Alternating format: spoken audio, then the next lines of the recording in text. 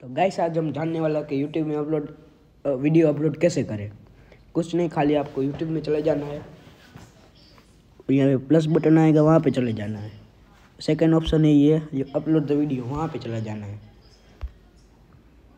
बाद में कोई भी वीडियो आपको ले लेनी है इसे कुछ भी ये ले ली मैंने वीडियो एडिटिंग करना है? एडिट कर सकते बाद में टाइटल दे देना का है? यहाँ पे। ऐसे कुछ भी। और डिस्क्रिप्शन में आप कुछ भी ऐड कर सकते हैं। और कुछ नहीं करना है अपलोड तो वीडियो कर देने का। और यह हमारा वीडियो अपलोड हो गया, देखो, ये हो रहा है। बस इतना है इसकी वीडियो में।